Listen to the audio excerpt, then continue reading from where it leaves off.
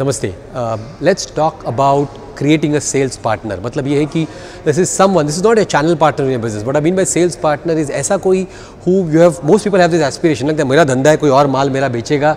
And may be you found someone like that who says yup I buy into this I want to make revenue I am go to sell your stuff now this is the challenge if you have sold him the vision of him associating with you because he wants to become a sales partner he is not connected to your industry लेकिन ready है कि भाई sales आपके लिए कर पाएगा this is the biggest trick but people suddenly imagine कि अगर sales partner हो गया है तो I'm going to have fantastic things happen I'll tell you what don't be even remotely thinking that it's going to happen पहली बार तो अगर आपको अपना माल बेचने में दिक्कत हो रही है and you start after 15 calls that you make, you feel frustrated.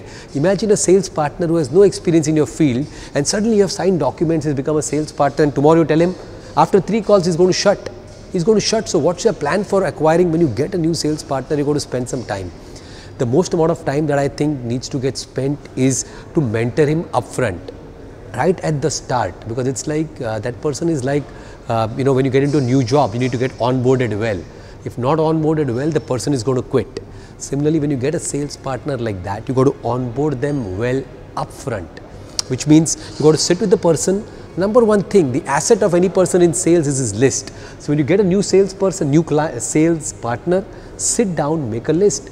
Who are his contact base? You have to equip him to make that list. You have to sit with him to then figure out इसमें से किसको phone कर पाए. You make the calls along with him. Equip the partner, get him successful, get him his few uh, successful projects closed, and then you see when revenue kicks in, he starts becoming active. So anytime you get a partner like that, it's your job to make him active. Please do that. Don't leave your sales partner by himself. This model will surely fail for you. Thank you.